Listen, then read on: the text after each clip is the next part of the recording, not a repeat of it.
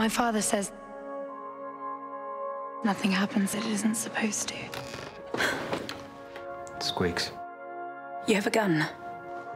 I was just robbing the place. Is that still your intention? Nope.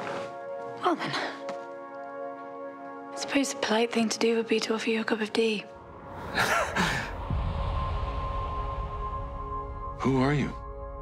What is your relationship to Beverly? Are you aware of her condition? She's dying. All I know is that I'm pulled to her, like air when I'm under the water. You steal things. I do steal things, yeah, from time to time.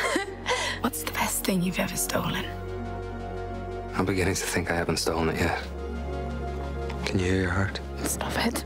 Or melt all the snow I'm standing on. Give me a chance and you'll melt all the snow in the world. I'm a faithful servant to Lucifer. I've been blackening souls for longer than I can remember. I've come to believe that a human is on the verge of saving the red-haired girl. I'm a thief. Can't I steal just one life? Pearly's tripled the reward. He's got his guys looking everywhere. I need to stop this one now.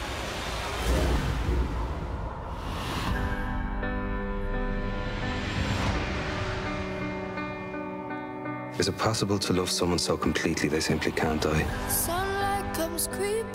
He is neither angel nor demon. He can still be alive. I've had some kind of amnesia.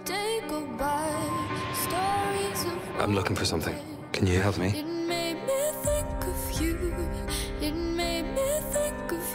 Beverly. Her name was Beverly. What's happening here?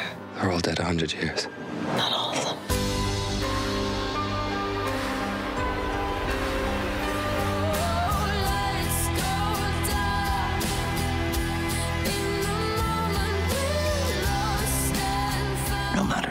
far we tip the scales our way, no matter how many of them we turn dark, nothing seems to break their capacity for hope. If you don't let me now, no one ever will. Winter's Tale. Rated PG 13. Starts February 14th.